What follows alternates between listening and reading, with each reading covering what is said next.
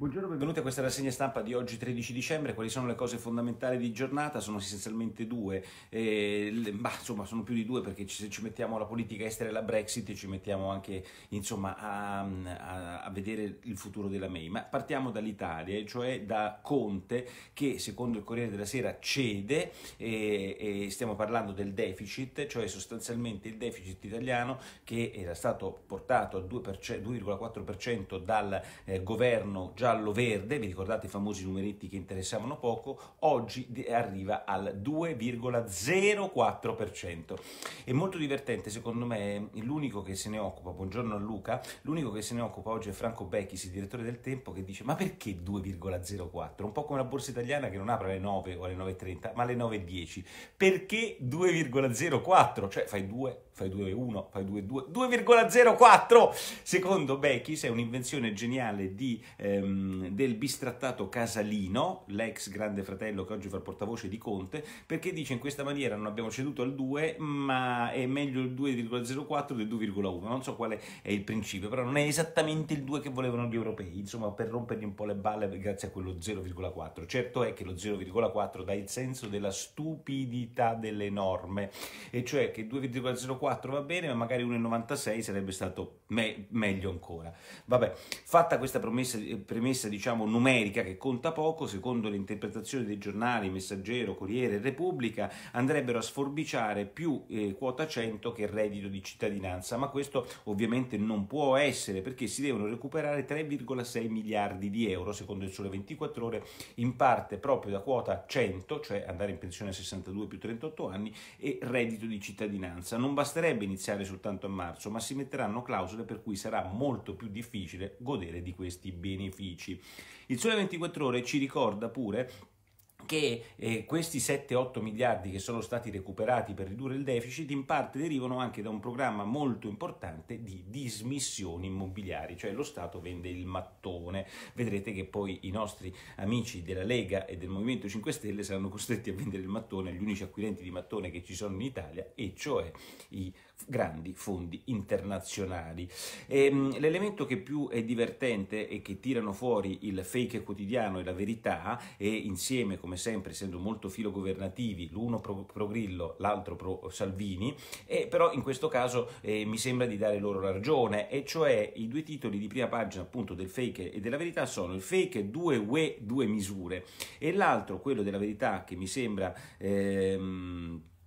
eh, de, de, della verità, Macron sbraca, Conte resiste. Beh, un punto, un punto allora, 2,04, la dichiarazione è, è, vabbè, insomma, un po' di commenti di voi su questo 2,04. Aug, Ludovico e Françoise adesso è ritornata. I mercati oggi stanno andando ovviamente benissimo, lo spread sta scendendo, ma il punto fondamentale che questi due giornali mettono in evidenza è che la Francia sbraca perché arriva a un deficit del 3,5%, molto superiore rispetto a quello che l'Italia stessa voleva fare e lei lei stessa aveva previsto soltanto un mese fa, prima della protesta dei gilet gialli. Tutti bravi, tutti ben pensanti, tutte le persone intelligenti, tutte quelle che dicono eh, a cui fa schifo questo governo, dicono beh ma certo, la Francia ha un debito pubblico molto inferiore dell'Italia, l'Italia 2005, l'Italia mm, e la Francia 1008 mi sembra, la Francia ha un PIL molto superiore dell'Italia, eh, 2004-2005 la Francia e 2009 l'Italia, e sono tutte cose sacrosante, la Francia ha 50 punti base di spread rispetto al Bund, mentre noi l'abbiamo oggi che sta migliorando 266. Insomma, è evidente che la Francia ha una situazione di finanza pubblica più, mm,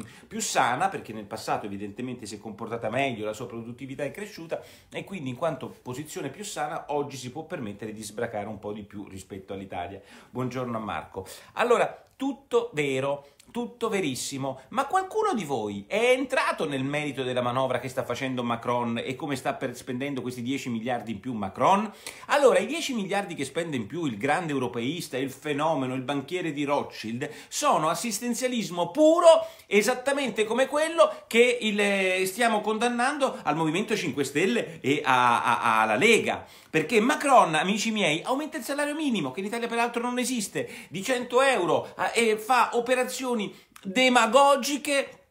soltanto per evitare che questi suoi gilet gialli non gli facciano un mazzo così, perché poi in Francia non scherzano. Allora, la demagogia francese va bene e quella italiana invece è fatta dai grillini populisti, oppure Macron può essere populista, ma siccome ha l'inno alla gioia, lui non è populista. È questo che mi fa veramente innervosire. Cioè, condivido il fatto che la loro situazione è migliore, ma la cosa fondamentale è che le manovre fatte da Macron sono le peggiori manovre che avrebbe fatto il Movimento 5 Stelle, tutti zitti e pippa perché le fa Macron. Nel frattempo avremo il prossimo Macron in Italia, ce lo spiega il foglio quotidiano oggi, e, e sarà Calenda, nel pezzo di, eh, attribuibile al direttore, al mio amico Cerasa, Calenda avrebbe addirittura chiesto a alcuni sondaggisti, alcuni eh, imprenditori avrebbero chiesto ad alcuni sondaggisti di testarlo e farebbe un partito da solo e, e mm, Calenda quindi benvenuto nell'arena politica dove dopo essere iscritto al PD adesso fonderebbe un suo partito. Ecco, il, la mia associazione tra Macron e Calenda è molto semplice semplice, il passaggio è molto veloce, cioè alla fine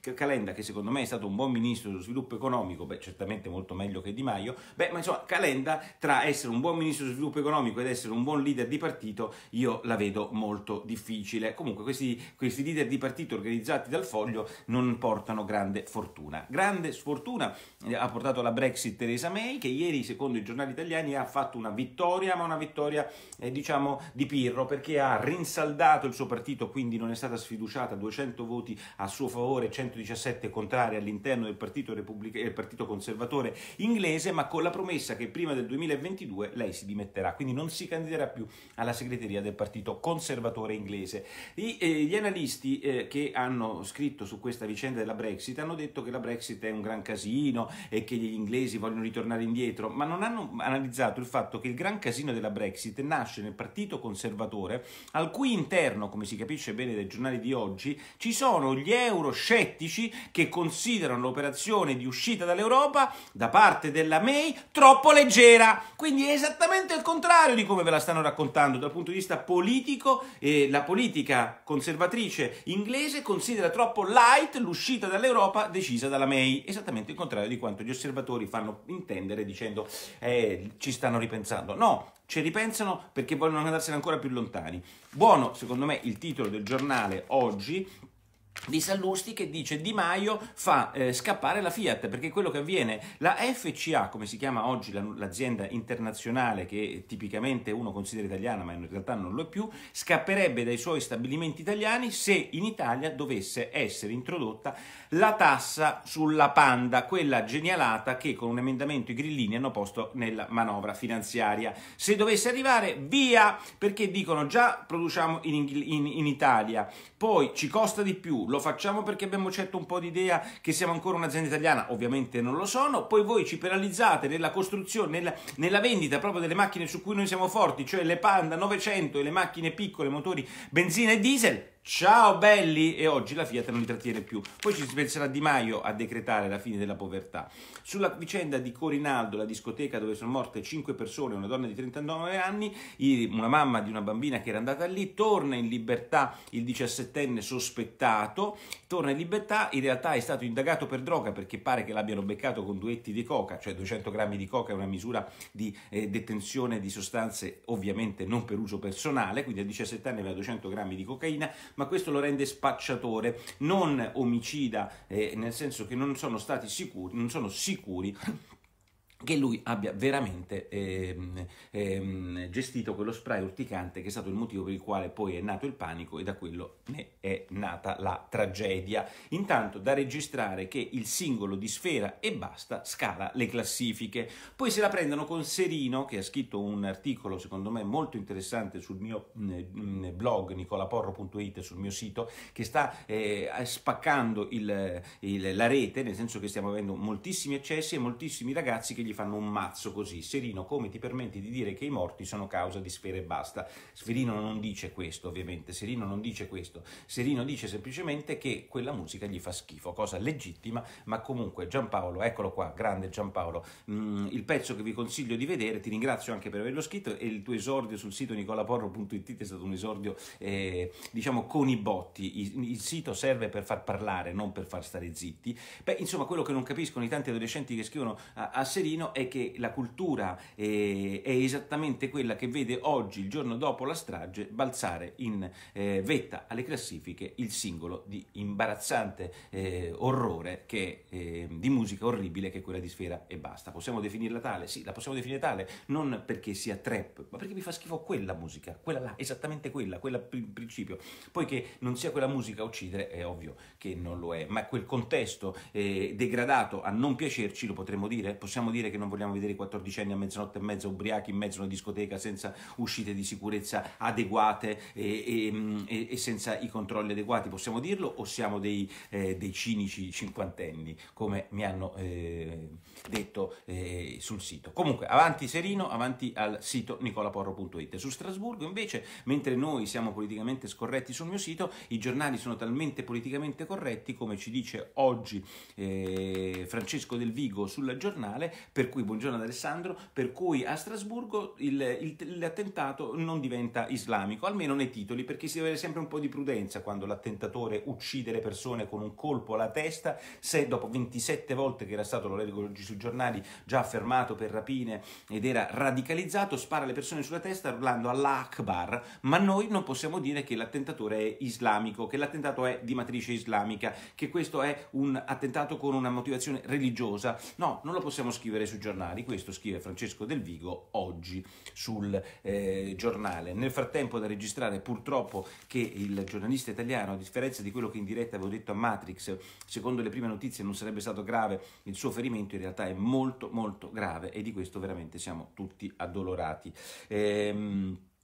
eh, boh, boh, boh, boh. Eh, direi che si che, che, oggi Giordano, ecco Giordano, Mario Giordano sulla verità, l'ultima questione che riguarda Brexit ci ricorda come in realtà la polizia francese ha dato l'ennesima prova di sua incapacità o inefficienza, se volete dire. 720 persone sono oggi alla ricerca di questo attentatore che, vi ripeto, era stato individuato, secondo le cronache di oggi su tutti i giornali, ve lo spiegano, ha sparato, la polizia lo individua, lo inseguono, lo inseguono i poliziotti e questo sta ancora, dopo un giorno e mezzo, ancora in libertà libertà. È una cosa che uno non ci, non ci crede, non è Igor, questo è uno che era stato individuato mentre faceva nel centro di Strasburgo, la, la città più blindata d'Europa, stava facendo i suoi 4-5 orribili omicidi. Direi che per oggi è tutto, se vi piace questa ehm, zuppa condividetela, sul mio sito vedrete che ce ne sarà molto da discutere sulla questione di Quattrocchi, sulla questione, eh, vedete perché, e sul, sulla questione di Sfera e basta, oltre che degli attentati islamici di queste ore. Dopo 28 reati vari, poi rabbia, Françoise, Raffaele è entrato ora ma io sto chiudendo, ti manca la questione delle targhe straniere dopo il decreto sicurezza, non la so, eh, manco fosse New York, beh insomma un abbraccio a tutti quanti voi, ci vediamo domani alla stessa ora con la zuppa e sul sito nicolaporo.it. Ciao!